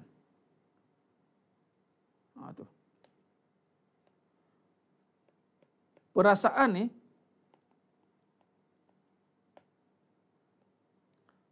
perasaan inilah yang akan contoh akidah. Dia nafsu. Sebab dalam perbahasan akidah, itu nanti termasuk juga perbahasan tentang penyucian hati. Atau saya gabungkan di sini. Akidah tasawuf. Eh? Tegas. Bab menundukkan nafsu ni dia kena tegas. Itu ha, bijak. Orang yang hikmah. Dia tidak boleh berlembut dengan nafsu. Nafsu tak boleh lembut. Nafsu kena tegas. Jadi nafsu ni sifatnya api. Api ni dia panas. Dia besi dan panas. Bila panas dia tak boleh pegang lembut-lembut, melecur nanti. Dia kena cepat-cepat, ketuk, ketuk, ketuk, tegas, bagi arahan jelas. Perkara-perkara yang membawa kepada nafsu.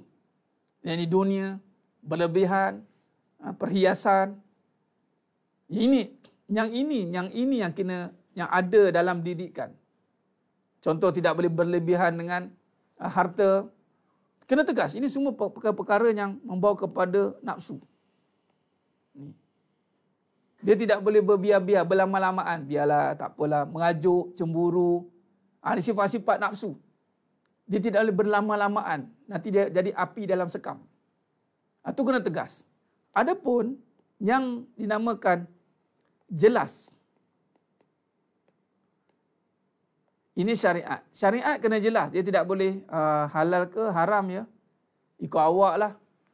Abang cemburu tak saya keluar ni dengan ni? Uh, kalau tak cemburu nanti kang, dia panggil dayu pula. Dia bukan soal dayu cemburu tak cemburu. Haram.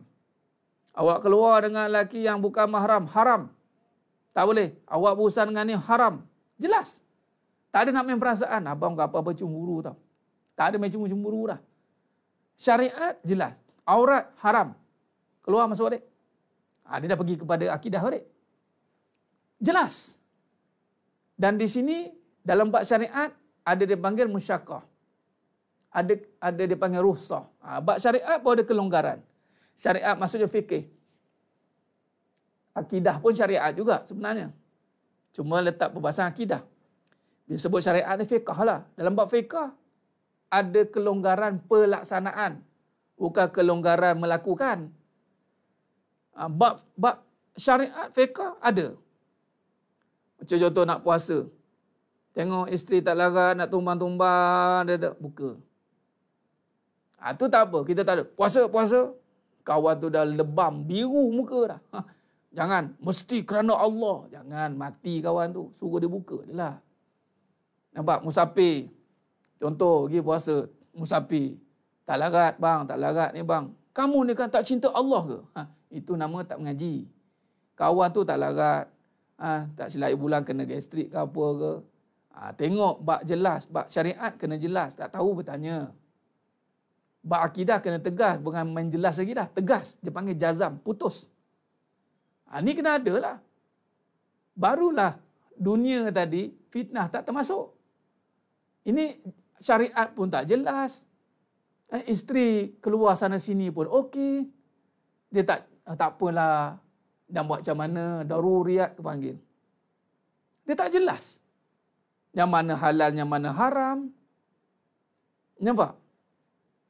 Akidah jauh sekali. Kalau syariat tak jelas, akidah jauh sekali. Dia tak tegas. Bab perasaan dibiar-biarkan. Ha, dia perasaan ni bukan cerita main hukum. Eh? Oh, apa hukum? Hukumnya saya resah. Ha, dia bukan cerita hukum bab perasaan ni dia kena didik dengan tegas. Kalau buat hukum ni yang nampak. Ni perbuatan. Ha, ni hukum, fikir. Ha, sebab tu kalau perasaan tu dia tak boleh. Alah tak haram pun. Memanglah tak haram. Alah tak haram pun. Alah, suami, alah isteri nak beli-beli tu tak haram pun Ustaz. Memang tak haram. Tapi kalau beli ikut nafsu, lama-lama terganggu akidah nanti. Sebab nafsu bila menguasai, akidah akan hancur. Sebab apa? Bila datang ujian.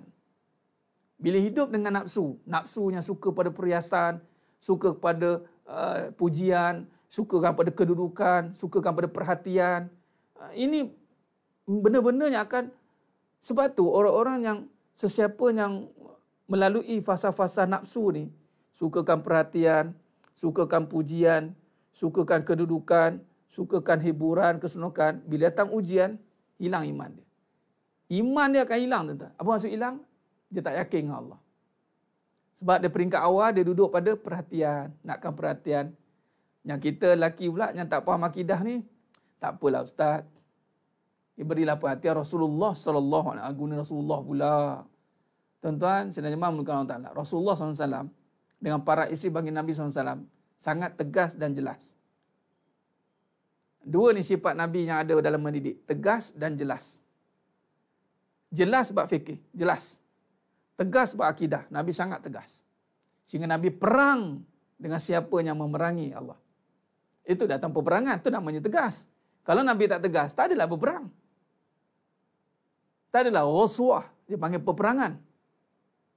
Ya? Jelas hukum makam. Sebab tu jelas. Mananya gharar, mananya syubhah. Nabi kata, tengok baginda isteri baginda Nabi SAW, tidak ada berlebihan dengan dunia pun. Rumah-rumah isteri Nabi baginda baginda Nabi SAW isi sini bilik ya. Dan di masjid. Ha, ni baru saya upload satu status. Sebenarnya masjid tak pernah tutup tuan-tuan. Zaman era baginda Nabi SAW tak pernah tutup. Sebab apa? Sebab rumah Nabi itu masjid. Dan Nabi mengimarahkan masjid. Dan Nabilah imamnya. Nabilah ketuanya di situ. Dan Nabi bangun setiap malam. Qiyamul Wajib bagi Nabi. Kita tak wajib. Jadi sebab itu tidak heran setiap musibah yang datang zaman Nabi selesai. Sebab apa? Nabi ada. Dah kita ni Ustaz, nak buat macam mana Nabi tak ada? Ikutlah Nabi buat. Apa dia? Jangan tutup masjid. Hidupkanlah. Dan jadi, bukan sekadar hidupkan, jadikan masjid pusat pemerintahan. Nabi SAW jadikan masjid pusat pemerintahan. Nabi tak ada buka HQ lain. Nabi hari-hari setiap pagi akan bangun pergi ke HQ. Tak ada. Nabi itu, Nabi kat situ lah. Yang mana kita pergi Masjid Nabawi, Masjid Nabawi pergi umrah. Ha, lah. Tak ada uh, kita pergi umrah. Okey, ini HQ masa Nabi pentadbiran. Ha, ini pentadbiran Nabi SAW. Ada. Ada jumpa. Masa pergi Madinah, ada. Ada mutawif, ada bagi tahu. Ini yang yang sebelah sana tu itu bangunan Nabi SAW. Di situ mercu tanda uh, bangun, bangunan Nabi mengurus pentadbiran di situ. Ada. Ke kat situ Masjid Nabawi. Ha, ini yang tertutup kadang-kadang ni. Saya tak pasal cakap lah, saya nak lontarkan. Jelas. Ada rumah sisi Nabi semua yang kan cakap kan kena batai hidung tak? Kena batai hidung. Kita kalau boleh nak penuh, penuh lagi rumah kita dengan syarat apa benda semua. Semua benda boleh nak isi kat rumah tu. Betul tak? Kalau ustaz tengah tak ada duit boleh cerita tengah ada duit sekarang. Ha, itu, itu masalahnya tu. Itulah masalahnya. Kalau ustaz isi saya ni kalau nak nak sangat beli kerusi tu ustaz. Hmm, kalau saya tak beli pakai duit dia pula. Jadi saya tak terhalang sebab pakai duit dia. Teman-teman pakai duit dia, suami terdiam. Cakap duit kamu tak duit kamu. Abang tak benarkan. Habis cerita. Abang tak nak duit kamu. Tapi setiap benda yang kamu nak beli, minta kebenaran abang. Habis cerita. Setiap benda bang. Ah, ha, setiap benda lah. Nak ajar. Hmm. Lala-lala-lama, dia tampak dia okey sikit boleh beza kan? Nah, belilah nak beli. Baru kita tengok. Ini apa benda ni? Yang beli buat apa ni? Kena tanya. Kalau kita tak tanya, Allah tanya. Ha. Allahumma salli ala Muhammad wa ala ali Muhammad.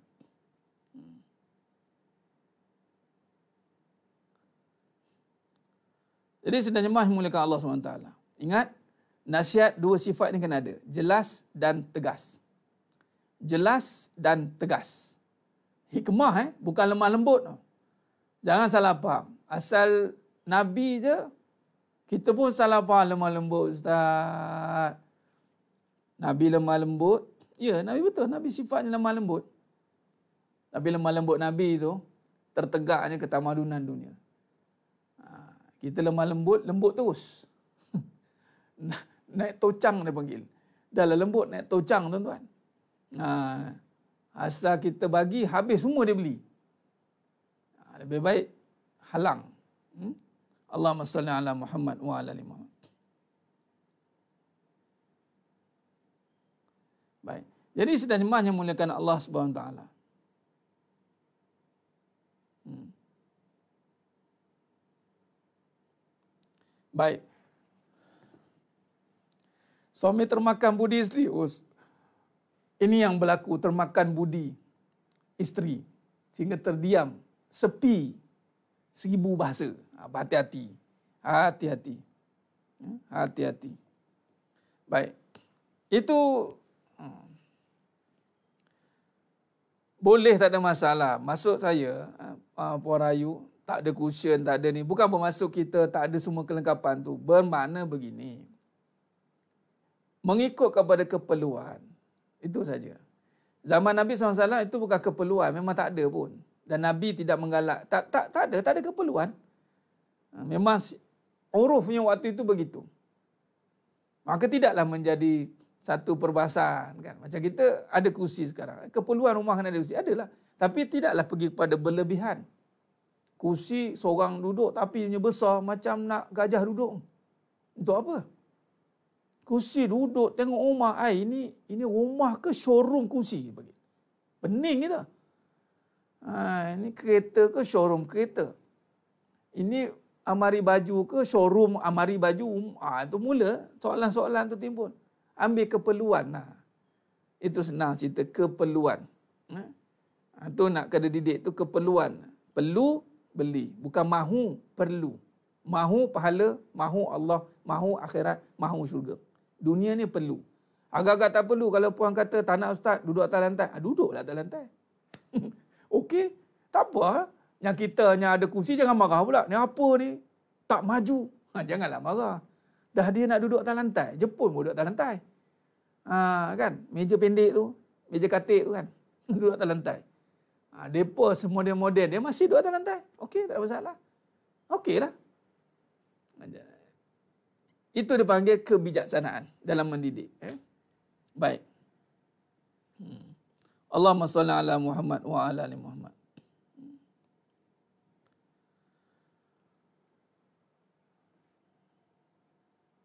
Ataupun dalam konteks tuan-tuan sedang jemaah menggunakan Allah Taala dalam bab harta ni ha, ni kita nanti cerita dalam bab pembahagian eh. Ini akan datang peruntutnya dia ada Allah kata wa mimma razaqnahum yunfikun. Sedekahkan sebahagian harta kamu. Ini kita boleh tengok bagaimana Sayyidina Umar Al-Khattab radhiyallahu an. Sayyidina Umar Al-Khattab radhiyallahu an para sahabat. Ustaz, macam mana? Ustaz, saya pun nak, nak pakai dunia. Boleh, tak ada masalah. Boleh, boleh. Ustaz, boleh tak saya pakai kereta Ferrari? Boleh, satu juta. Sebarunya viral, Ferrari terbakar kat highway. Hmm, hangus. Satu juta. Infak sejuta. Equivalent. Sekurang-kurangnya begini. Kalau ada lah. Ha, dia cara begitu. Lebih hebat. Macam Saudara Abu Bakar Siddiq tu semualah. Atau lebih lagi. Pakai sejuta, sedekah dua juta. Mantap. Ustaz, saya nak pakai Ustaz. Saya ada duit lebih ni Ustaz. Saya ada 10 juta, 5 juta saya nak pakai untuk keperluan-keperluan saya nak beli kereta, beli rumah, beli apa sila. Lagi 5 juta ni saya pakai untuk agama. Boleh? Tak masalah. Ha, ni maksudnya tadi, kita ukur, kita lihat. Itu Nabi buat. Malah Nabi buat semualah. Nabi bagi habis semualah. Ha, okay? Jadi tak ada masalah, tak ada masalah. Bukannya kata kita dengar buat fitnah harta ni langsung tak pakai harta. Bukan. Malah kita tak lari pun daripada harta tu. Kita ada je harta tu. Tapi dia tidak boleh menguasai kita. Dia tidak boleh menyusahkan kita. Dia tak boleh buat kita terfikir-fikir pasal dia. Ha, dia tak adalah nak buat kita risau pun. Ha, boleh je kita buat statement kan. Ha, harta di tangan, ha, tidak di hati. Memang di tangan, sekali risau juga lagi. Ha, tapi kita nak cerita bahawa kita tak nak ikut kehendak dia. Kita boleh kontrol dia. Ha? Mahal macam mana pun harga dia, kita tidak terkesan dengan mahal dia. Kita hanya ambil keperluan saja. Kita pakai. kita tak jadikan dia sebagai benda yang mendatangkan cinta kita pada dia. Ha, Okeylah, pakai. Tak ada masalah. Hmm? Ha. Jadi kira lah buatlah checklist masing-masing. Hmm. Checklist masing-masing. Sendiri punya duit, sendiri punya tahu. Hasibu qabla anta tu hasabu. Hisaplah diri kamu sebelum kamu dihisap. Kata Sina Umar Khattab radhiyallahu an. Ha, ni, ini pun didik lah. Ini suami pun kena. Ini kena tahu lah checklist ni. Tak kisahlah tu dua isteri pun. Balik-balik tengok barang baru ni. Apa benda barang banyak kat rumah ni? Janganlah buta buat tak tahu. Ya. Tengok. Kenapa beli ni? Tanya. Why? Ni tambah-tambah untuk apa? Boleh bagi reason, selamat. Tak boleh bagi reason, siap. Sama soalan ditanya oleh Allah nanti. Ha, ni kenapa ada? Kalau boleh jawab, silakan. Tak boleh jawab, jangan ambil. Itu simple. Ha, ni orang bagi. Orang bagi tak apa. orang bagi. Nak macam mana? Ambil.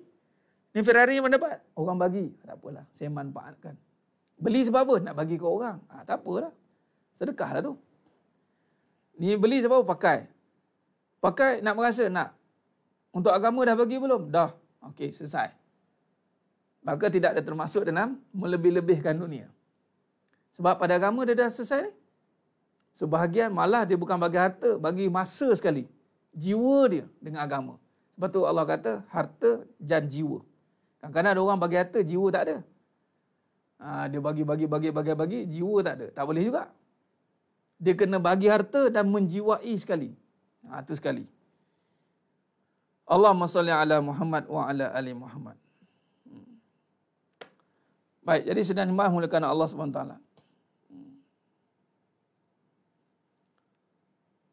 Boleh, bak rumah tu tak ada masalah. Ni bukan kata tidur. Ha, jangan. Jangan salah faham keperluan.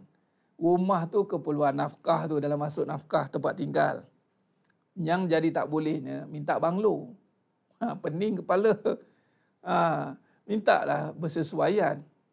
Dalam bab nafkah ni bersesuaian dengan suami. Ha, bersesuaian lah ikut mana yang ada berkadaran lah.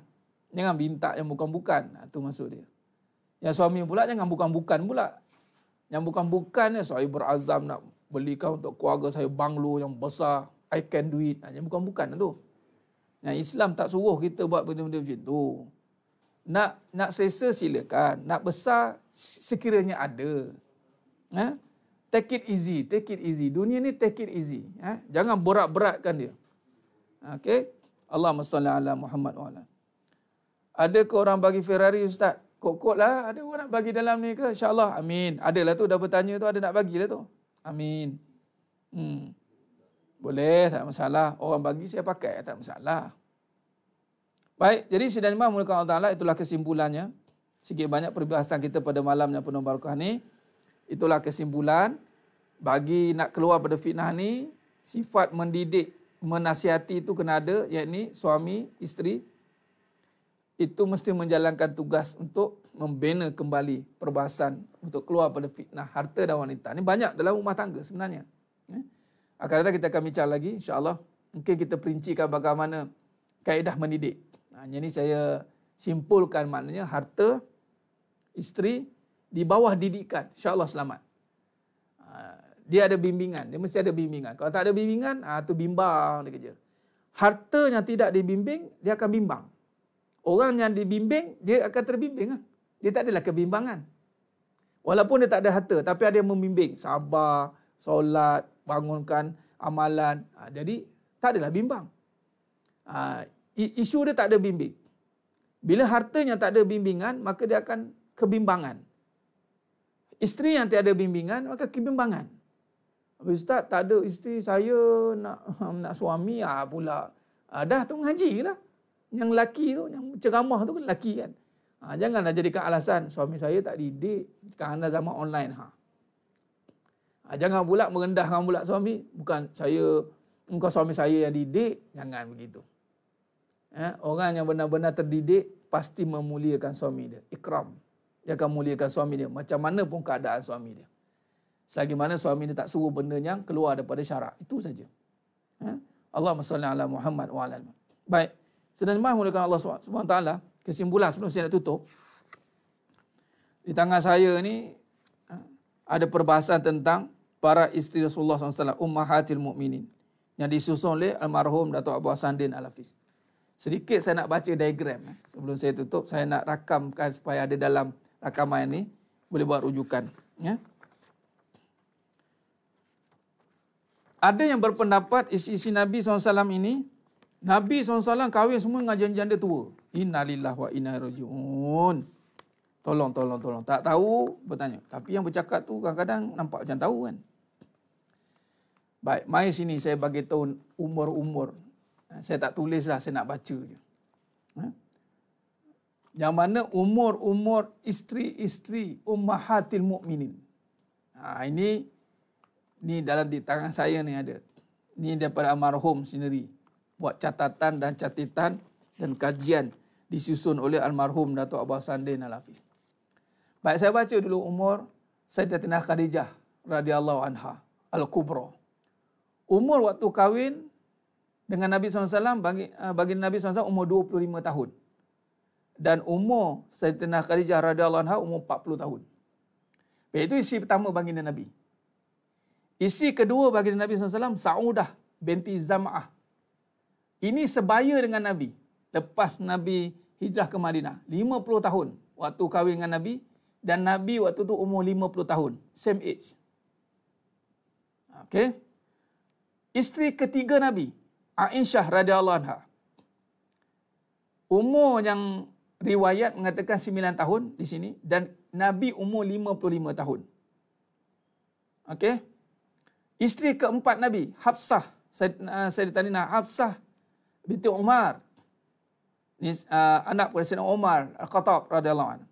Umur Sayyidatina Hafsah 18 tahun, Nabi 56 tahun. Zainab binti Khuzaimah radhiyallahu anha. Umur Zainab binti Khuzaimah radhiyallahu anha 30 tahun. Nabi umur 56 tahun.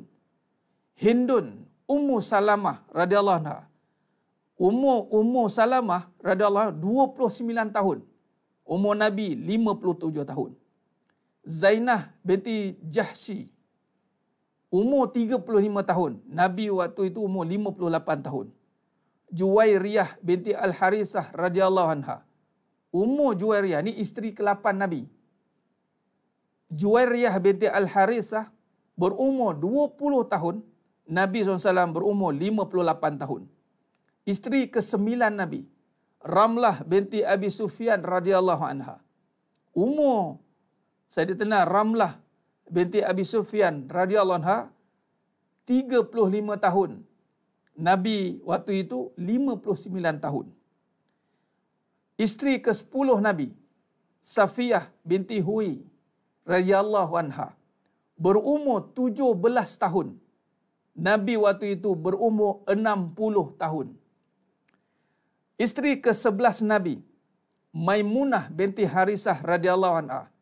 Maimunah berumur 36 tahun, Nabi SAW berumur 60 tahun.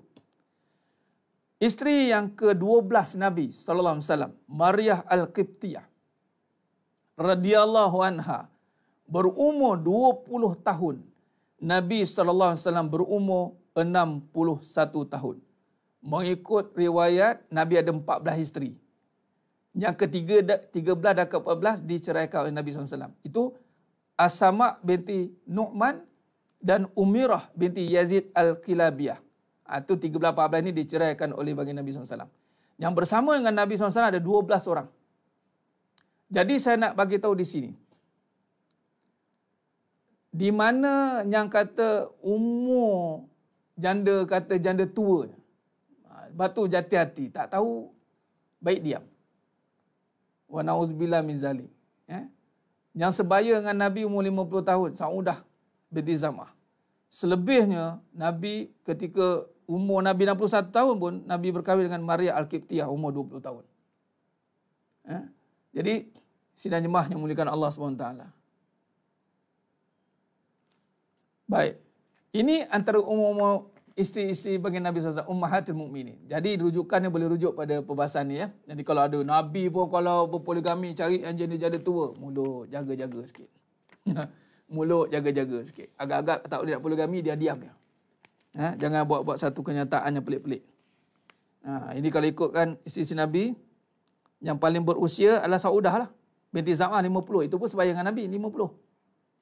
Yang paling muda Aisyah radhiyallahu anha lah 9 tahun.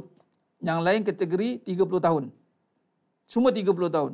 Ha, Sayyidina Khadijah radhiyallahu anha itu isteri pertama lah. Dah wafat lah. Selepas kewafatan Nabi berkahwin. Ini semua wahyu Allah. Eh? Wallahi kalau tiada wahyu memang ramai wanita nak bersuamikan Nabi SAW. Maka sebab itu Nabi SAW ada kelebihan ini. Sebab apa? Pemimpin. Ini kepimpinan. Eh? Kepimpinan ini mampu memimpin ramai wanita. Ini satu kelebihan. Ini mujizat Nabi SAW. Kita tak boleh tiru. Ini hanya perkhususan. Cuma saya malam ni nak bagi tahu umur-umur Nabi. Umur-umur Nabi. Eh umur-umur isteri Nabi dan kita-kita umur Nabi berapa? Hati-hati. Kalau sekarang berlaku kat kita ni, silap bulan, kerana kahwin ni kita boleh keluar akidah kita. Jangan main-main. Ha, jangan main-main. Sebab tu hati-hati. Kalau tak tahu, cari, tanya. Alhamdulillah, Allah izinkan saya dapat tahu ilmu. Kalau tidak, saya pun tak tahu. Ha, eh? Allahumma salli ala Muhammad wa ala Muhammad. Subhanallah. Ni banyak lagi detail ada kat sini. Nanti ada masa saya akan ceritalah sikit. Seringkas isteri-isteri bagi Nabi SAW, Ummahatil Mu'minin. Yang disusul oleh almarhum ha, Datuk Abu Hassan Din Al-Hafiz ni. Sikit banyak menggalilah pahala untuk beliau. Moga-moga Allah rahmati ha, beliau Uh, roh pada almarhum Datuk Abbas Sani Al-Hafiz dimasukkan di kalangan orang yang soleh. Masukkan syurga tanpa hisap. Amin ya rabbal alamin. Hmm. Sah nikah, dua-dua tak ada solat. Rukun sah nikah tak ada yang mesti solat. Solat itu satu perkara lain. Syarat sah nikah kan mesti ada yang rukun yang khasnya. Yang telah ditentukan oleh ada wali, pengantin puan, pengantin lelaki, ada akad. Ya? Ha. Jadi tak ada kaitan lah dengan sah ke solat lah. Tak termasuk lah. Eh? Baik.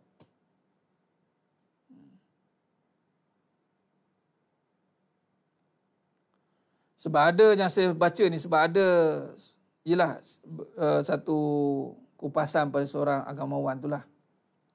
Satu kenyataan poligami yang kalau nak kahwin lagi tu cari yang janda-janda tua. Nabi kahwin dengan janda-janda tua.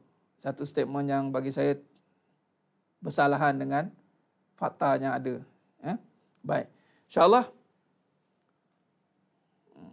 Moga-moga Allah rahmati kita semua. Moga-moga Allah uh, istiqomahkan kita dalam uh, ketaatan. InsyaAllah. Teruskan selawat pada Nabi SAW malam yang Jumaat sedua ayam ini. Antara amalan yang muktabar, jumhur ulama' amalkan itu adalah salawat dan kepada penuntut uh, Radatul Furqan, Akademi atau Furqan itu sebagai tas anda setiap hari amalkan selawat kurang-kurang seribu kali sehari insyaAllah. Moga Allah rahmati kita semua. Saya kira cukup setakat tu dulu. Betulkah? Eh? Saya kira cukup setakat tu dulu pengajian kita pada malam ni. Moga-moga Allah rahmati kita semua insyaAllah. Hingga kita ketemu lagi pada malam esok. Teruskan istiqomah. Teruskan istiqomah insyaAllah. Baik. Mohon ampun, mohon maaf di atas segala keterlanjuran kata, tersalah kata, tukuran bicara. Moga-moga Allah SWT uh, mengampuni